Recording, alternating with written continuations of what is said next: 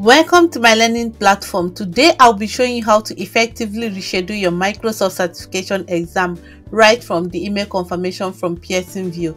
So if you're new in this channel, please go ahead and hit the like button, smash the subscribe button and let's dive into the video of today.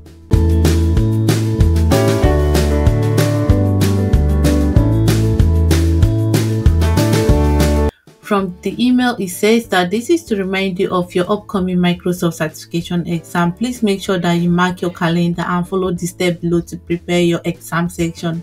If you are unable to take the exam at the scheduled time, please make sure that you cancel or reschedule your appointment at aka Microsoft slash exam reschedule no later than 24 hours prior to your scheduled time. So from this link, just click on the link and this takes you straight to your Microsoft Learn profile.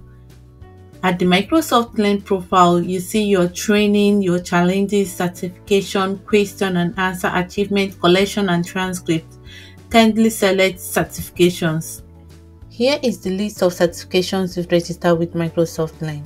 Here I have my Microsoft Azure Administrator and it's scheduled on the 16th of August. I will go ahead to reschedule this exam on the 18th of August. Kindly hit the reschedule button and this takes you straight to Pearson VUE platform where you can select your preferred date for the exam.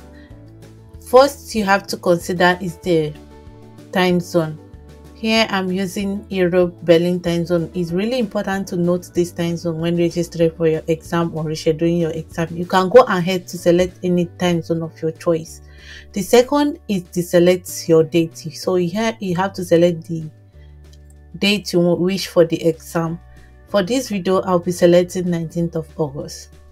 The third is to select the appropriate time for the exam. shows here 10.30 a.m. to 12.30 p.m. But this time is not convenient from my side. I will go ahead to explore more time by clicking explore more times. These are the list of available time for the same date, that is the 17th of August. Here I want to take the exam at the early hours because this is more convenient. You can go ahead to select any time of your choice. I will go ahead to select 12 a.m. to 5 a.m. and this brings the list of available time. I can start the exam at that exact date. For this rescheduling, I will be selecting 1:15 a.m and after selecting the time of your choice the next is to click on book this appointment. So you go ahead to take the whole agreement portal the OnVUE data protection and you can go ahead to read this if you want. And the next is to click on agree this page shows you the detail of the exam and the selected time of your choice. You go ahead and click the next button.